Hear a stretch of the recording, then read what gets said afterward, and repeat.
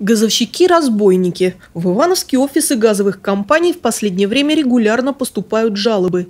Неизвестные лица предлагают по завышенным ценам заменить запчасти к газовому оборудованию или приобрести приборы учета. Отказавшимся угрожают поднять тарифы или вовсе отключить голубое топливо. Есть уже и обманутые горожане.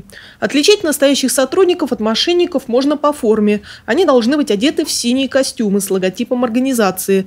Также при себе у правильных газовщиков всегда служебные удостоверения, которые они обязаны предоставить жителям. Специалисты газовых служб не предлагают каких-либо товаров приобрести у них. Они не навязывают услуги, обходя жилые помещения, дома, квартиры граждан.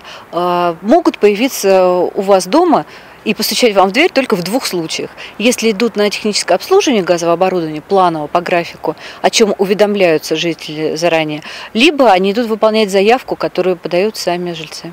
Если визит сотрудников газовой службы вызывает сомнения, абоненты всегда могут уточнить информацию о проведении работ в их доме. Достаточно просто позвонить в абонентскую службу.